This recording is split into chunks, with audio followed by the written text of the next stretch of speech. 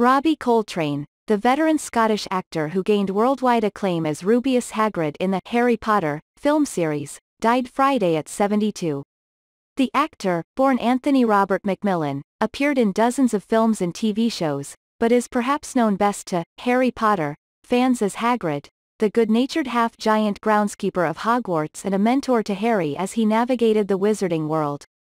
The Scottish actor, comedian and writer also appeared in two James Bond films, 1995's GoldenEye, and 1999's The World Is Not Enough, as the Russian mafia man Valentin Dmitrovich Zhukovsky. One of his first major appearances was on the British sketch comedy series, Alfresco, in 1983. He co-starred with other soon-to-be greats like Hugh Laurie, Emma Thompson and Stephen Fry.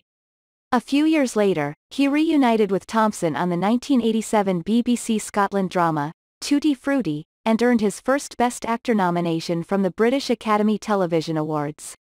From 1993 to 1995, he starred in the ITV crime drama, Cracker, as criminal psychologist Dr. Edward Fitz Fitzgerald, winning three British Academy Television Awards.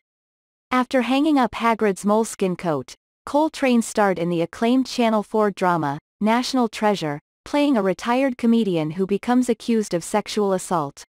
For the role, he won a handful of Best Actor awards from British orgs. Most recently, Coltrane appeared with his Harry Potter family on the Return to Hogwarts 20th anniversary special released on HBO Max in January 2022.